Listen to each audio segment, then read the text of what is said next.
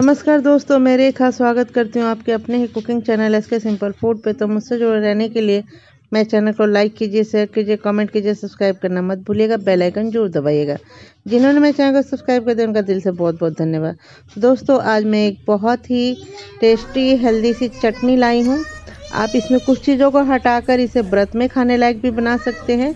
तो अभी मैं बना के रखूँगी।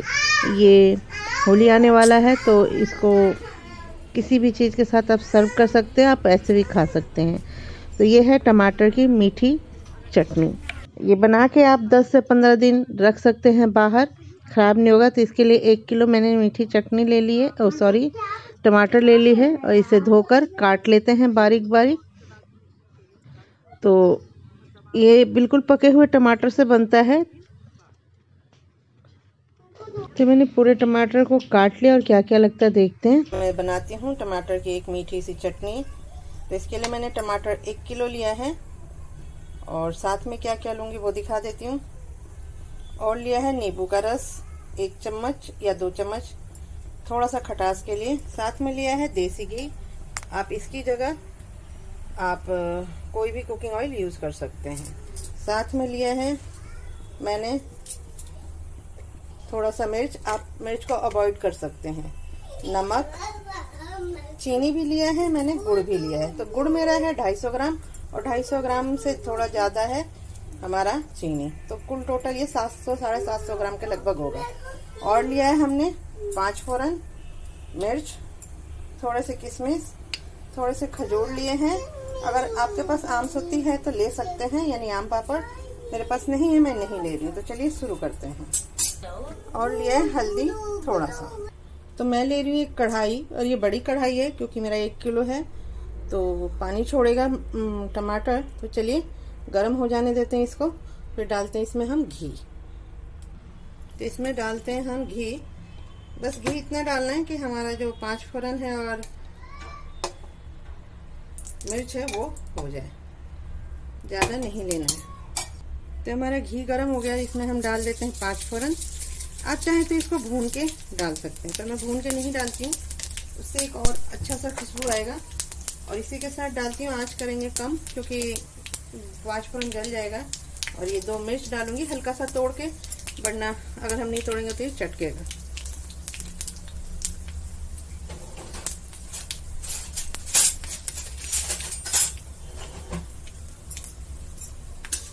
इसे चला लेते हैं थोड़ा।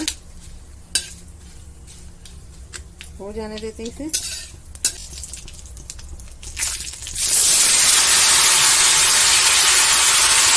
तो हमने टमाटर डाल दिया। इसी टाइम में डालूँगी नमक। तो ये जो नमक है, आप व्रत में अगर ये टमाटर की चटनी बना रहे हैं तो आप इस नमक को अवॉइड करिए। या इसकी जगह आप सेंधा नमक अगर व्रत में खाते हैं तो डालें, वरना ना डालें। अगर नमक नहीं खाते हैं तो। तो मैं एक से डेढ़ चम्मच नमक डाल दूँ ताकि हमारा ये जो टमाटर है वो गल जाए।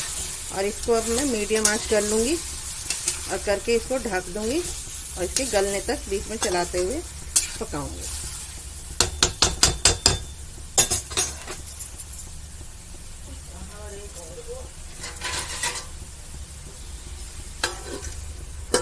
और इसे होने देते हैं, उसके बाद में दिखाती हूँ आपको।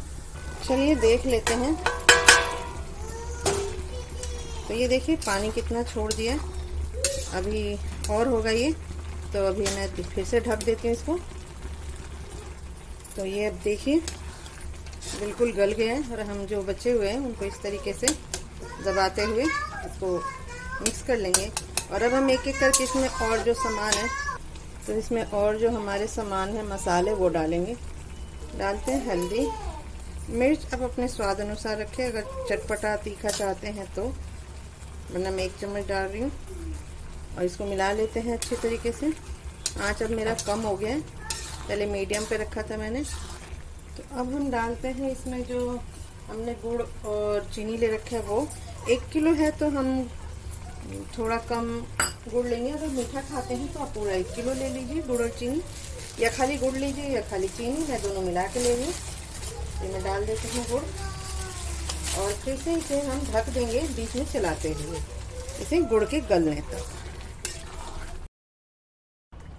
तो ये देखिए, हमारा जो गुड़ डाला गया था, वो मेल्ट हो चुका है। लेकिन अभी पानी है ये तो थोड़ा और ये गाढ़ा होगा। तो इसमें डाल देते हैं हमारा जो किशमिश है और खजूर वो, और डालते हैं हम अपना नींबू का रस। ये हम डाल देते हैं। अगर आपके पास आम पापड़ है, यानी आम सब्ज़ी तो आप डाल सकते हैं उसको भी। उससे इसका टेस्ट बढ़ जाता है। और मैं ये मीडियम आँच पे ही बना रही हूँ, तेज आँच नहीं किया है। जब हम आम पापड़ डालते हैं और खाते टाइम वो मुँह में आता है तो ये बहुत ही अच्छा लगता है। तो चलिए, अब हम इसमें नींबू डाल देते हैं। एक नींबू का रस, क्योंकि ये हमें थोड़ा खट्टा मीठा चटपटा बनाना है। तो आपने देखा, मैंने इसमें मिर्च भी डाल रखा था। तो एक नींबू का रस मैं इसमें डाल देती हूँ। आप अगर ज़्यादा खट्टा नहीं चाहते तो आप ना डालें, मीठा चाहते हैं तो। पर मैं इसे खट्टा मीठा चटपटा बना रही हूँ। तो इसे मिक्स करते हैं। अभी और होगा ये। तो अब हम ढकेंगे नहीं। अब ऐसे ओपन ही करके इसको खुला छोड़ के हम इसे बीच में चलाते हुए इसको पकाएँगे, थोड़ा गाढ़ा करेंगे। तो चलिए इसे पका लेते हैं। तो ये देखिए हमारा धीरे धीरे गाढ़ा हो रहा है। काफ़ी लोग इसमें सिरका या सिट्रिक एसिड डालते हैं कि ये ज़्यादा दिन चले, पर मैं ऐसा कुछ नहीं डाल रही हूँ, क्योंकि मेरे घर में ये ज़्यादा दिन बचता ही नहीं है। अगर आप इसे बाहर रखते हैं तो ये 10 दिन के लगभग ख़राब नहीं होगा। फ्रिज में रखते हैं तो ये आपका 20 से 25 दिन चल जाएगा।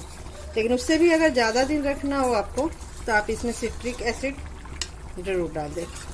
ज़्यादा नहीं, चुटकी भर। तो चलिए, और सुखा लेते हैं, फिर दिखाती हूँ मैं आपको। तो ये देखिए, लगभग हो गया है, और इस तरीके से हम गिराते हैं।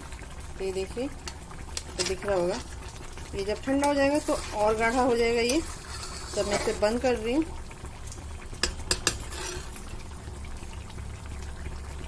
आप हाथ से भी इसे अंदाज लगा सकते हैं कि जब हम पहले छूते हैं तो ये पानी जैसा लगता है, और बाद में इसमें थोड़ा चिटचिटापन आ जाता है।